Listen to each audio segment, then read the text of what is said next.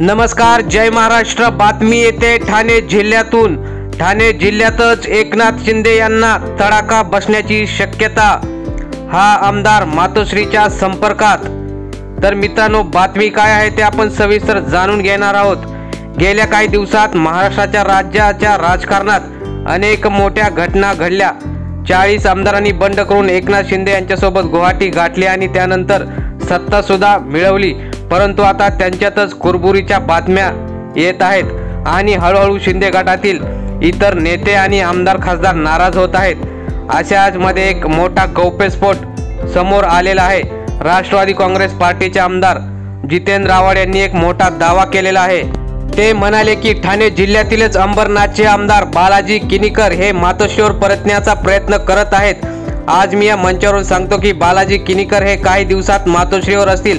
कारण ते अनेकांना शिवसेनेच्या नेत्यांना सांगत आहेत की मला मातोश्रीपर्यंत न्या उद्धव साहेबांपर्यंत न्या.